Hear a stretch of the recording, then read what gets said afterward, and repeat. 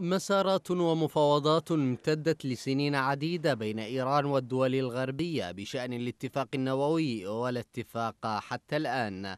أكثر هذه المسارات إثارة للجدل مفاوضات فيينا التي لم تظهر جدية الحوار بقدر اعتبارها استثمارا للوقت.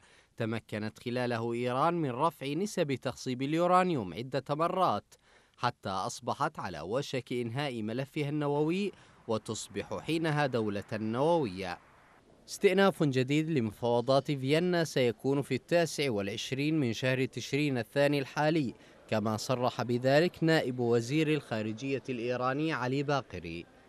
الاتحاد الأوروبي بدوره أكد أن المحادثات النووية بين القوى العالمية وطهران بشأن إحياء الاتفاق النووي ستعقد حضوريا مضيفا أن إنريكي مورا سيترأس المحادثات نيابة عن منسق السياسة الخارجية في الاتحاد الأوروبي جوزيف بوريل.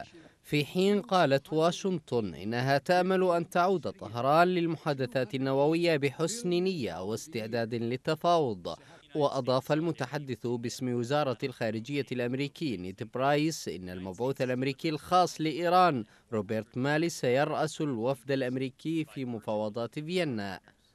وبغض النظر عن موعد استئناف المفاوضات إلا أنه لا تفاؤل بنتائجها فمن حيث المبدأ لا يوجد اتفاق بين المتفاوضين على الخطوط العريضة للقضية ثم إن هناك ضبابية في دخول أنشطة إيران الصاروخية ضمن المفاوضات النووية عموما أم لا.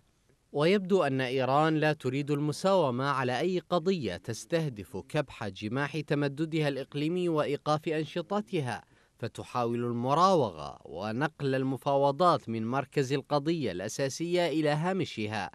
وتبقى المعضلة الأكبر أن بعض الدول الغربية المؤثرة تتخذ موقفا إيجابيا من سلوك إيران وتتعاون مع نظام خامنئي على أساس المصالح المشتركة.